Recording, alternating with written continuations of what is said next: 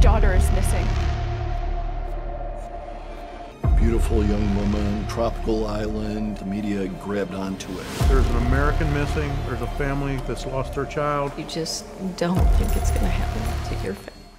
This fascinating story is set on the beautiful island of Aruba and involves the strange disappearance of a young woman. The tropical air is filled with many questions. Why did Natalee Holloway, a smart and hopeful teen, disappear during her graduation trip in the middle of nowhere? Was it the island's exciting nightlife that drew them in, or was there something darker going on? Watch the video to learn more about how conflicted people are and how they will never stop looking for the truth, no matter how perfect things seem. What mysteries are buried in Aruba's sands? Let's talk about it in detail. Natalee Holloway, a student from Mountain Brook High School, disappeared in 2005. Born on October 21, 1986, in Memphis, Tennessee, Natalee was an outstanding member of the dancer squad at her school and had a full scholarship to attend the University of Alabama. At 18, she traveled to Aruba with 125 classmates and seven chaperones to celebrate their high school graduation. However, her plans were cut short due to the trip, as they were of legal drinking age. Natalee and her friends spent their days swimming and partying at popular venues like Excelsior Casino and Carlos and Charlie's nightclub. Natalee met Dutch, man Joran van der Sloot, who was 17 years old, on the last night of their graduation holiday. They had a conversation while playing blackjack at the Excelsior Casino, and Natalee decided to schedule a later meeting with him at Carlos and Charlie's nightclub. At approximately 1.30 in the morning, Natalee was seen leaving the establishment in a silver or grey Honda with Joran and his friends, Deepak and Satish Kalpoe. At the time of Natalee's disappearance, her family had not arrived in Aruba, and they boarded an aircraft to Aruba. They arrived at the van der Sloot residence and were accompanied by two Aruban law enforcement personnel. Joran initially denied knowing Natalee, but later revealed that he was aware of her and took her to the California Lighthouse region to observe sharks. He also delivered her to the Holiday Inn Motel, where she was in the process of exiting his vehicle. Natalee was approached by a black-shirted individual who appeared to be a security guard as he drove away. An officer from the Aruban Police Department took Nick John and Abraham Jones into custody a little over a week after Natalee went missing. Both had previously worked as security guards at a hotel, but they would be released without any charges being assessed against them. Eight days after the first event, Joran van der Sloot and the Kalpoe brothers were taken into custody on suspicion of kidnapping and murder. The Kalpoe brothers claimed to have dropped off Natalee and Joran at the beach, but Joran claimed he left Natalee there and walked home.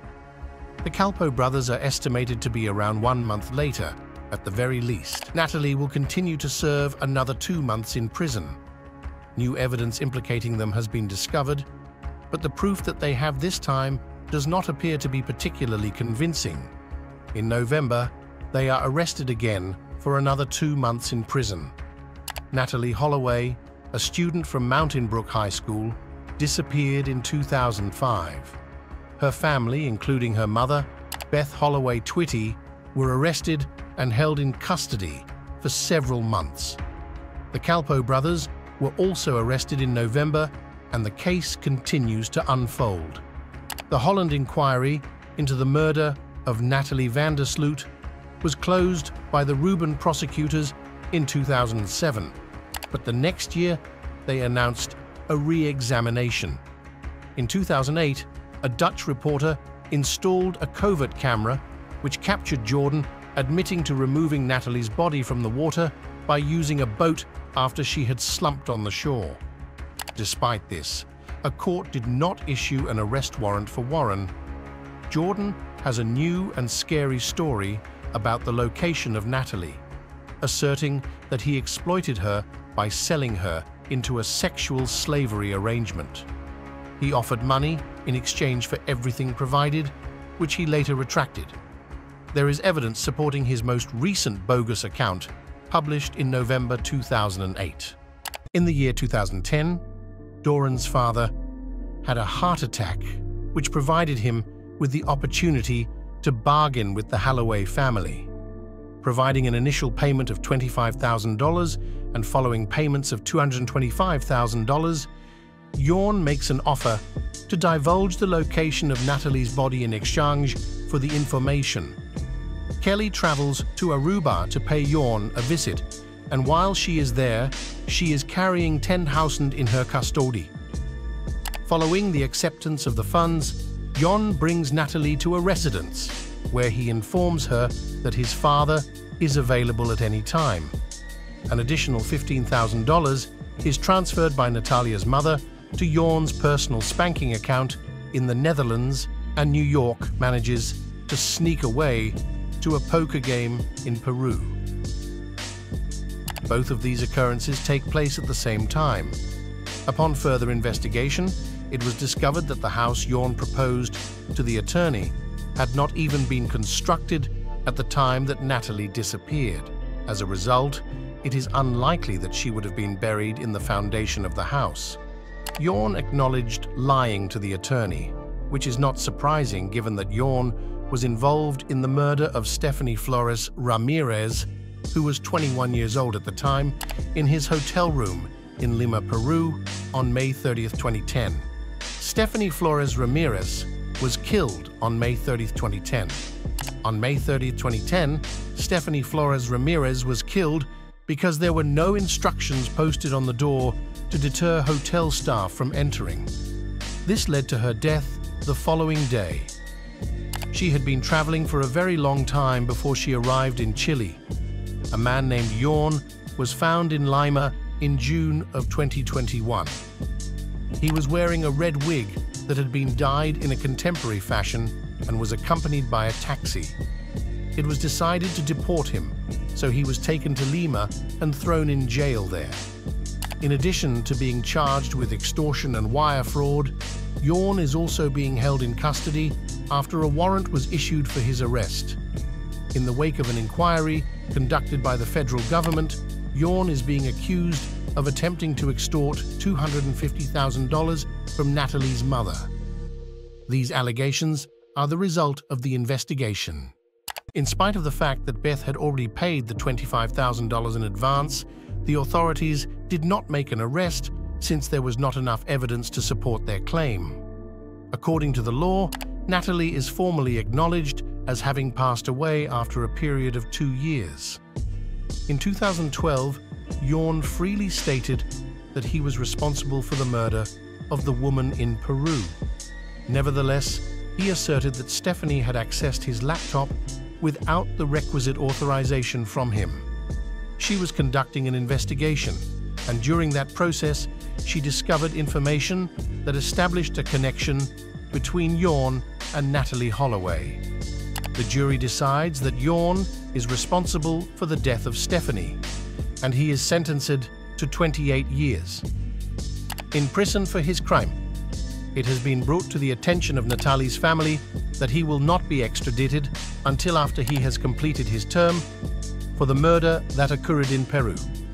With the life that Natalee and Stephanie were denied while they were detained, the concept of getting married and having a kid while you are incarcerated is a peculiar thing to do. This is especially true when compared to the life that they were denied while they were incarcerated. A private investigator named Gabriel was recruited by Natalee Holloway's father in the year 2016. Gabriel had previously been a roommate of John Ludwick, an American who had been one of Joran van der Sloot's closest friends in 2005. Furthermore, Gabriel asserts that he was John Ludwick's roommate at one point in time. After doing DNA analysis, it has been established that Natalee is not the owner of the objects, contrary to what was said earlier. In 2010, Ludwick disclosed that he had been Joran's assistant in the process of disposing of Natalee's remains. Nevertheless, in the year 2010, Ludwick made yet another effort to kidnap a woman in the state of Florida who was attempting to flee from her own driveway. He was stabbed by the woman in an act of self-defense, and the stab wound ultimately proved fatal to Ludwick. On May 10, 2023, officials from Proof issued an executive order that was accompanied by the temporary extradition of Jan to the United States. Within the United States, he will be confronted with allegations of extortion and wire fraud. Following the conclusion of his legal proceedings, he will eventually be brought before a federal judge in Birmingham, Alabama, for an arraignment, and then he will be sent back to Peru. The unusual circumstances surrounding Natalee Holloway's disappearance have left us with a sense of tragedy and unanswered questions.